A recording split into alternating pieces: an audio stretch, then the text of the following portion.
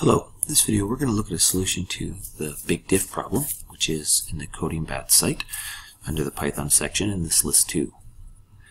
So let's start by understanding the problem.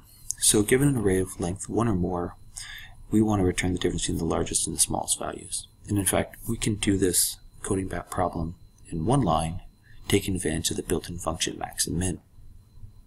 Because if I take the max of a list, it actually generates the maximum value. And likewise, if I take the min of a list, it generates the minimum value.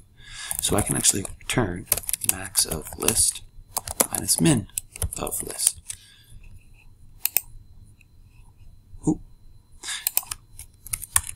The parameter is not list, it's nums. So notice I'm, gonna, I'm not going to stop this and restart. I'm going to actually highlight this as a learning opportunity is often in class when I'm talking about lists, I call my list list. But be careful, the parameter here is called nums, not list. And there we go. Now, even though this works, what we really want to do is we want to make sure we know how to traverse the list, find the largest value um, and the smallest value, and then take the difference when we're done. The reason why this is important is because when you transfer these skills to other languages, they don't necessarily have this, this mac, built-in max or min function. Furthermore, it's not always, it's, it's usually well, it's not always the maximum you want to find. It could be something else that requires you to look at each element in sequence. So to do this, I'm going to make a variable called maxv, and I'm going to initialize this to the very first element of the list. And the reason why I do this is because that means I know that the value um, makes sense. And what do I mean by that?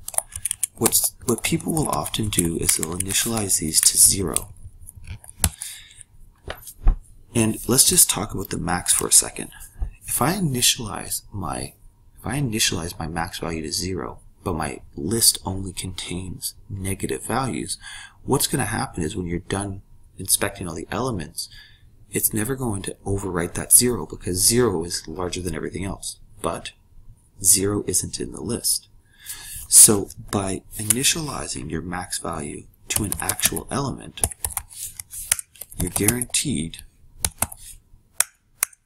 to to find the maximum minimum value.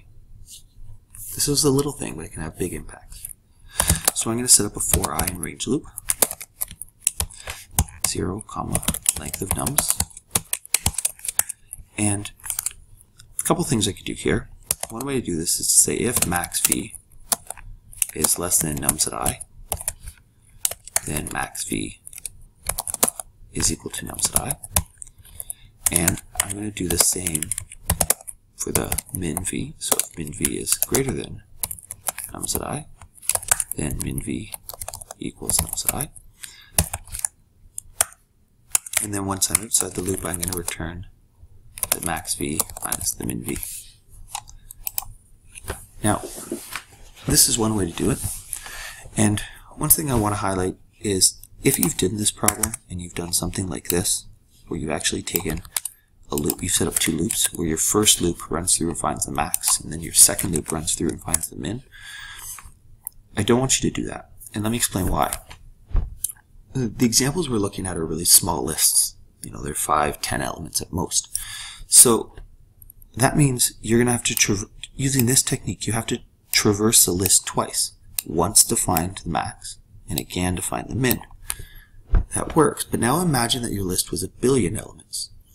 That means that means if you have two loops, you're going to have to traverse your list. You're going to have to look at two billion elements.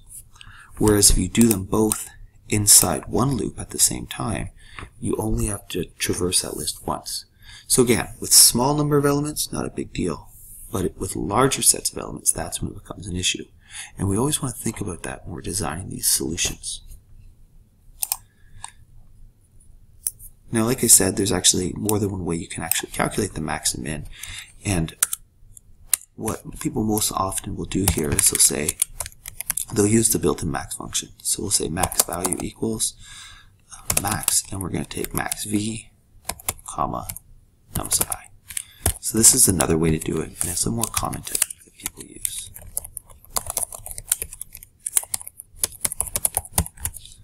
And there we go. And so I'm going to hit go, and it works. just to kind of close off here, remember, there's a really common mistake people make. And what's happened is we've put the return statement inside the loop, meaning that it enters the loop the first time and then exits. There we go. I hope this video helped. If you have any questions, don't hesitate to ask. Have a wonderful day.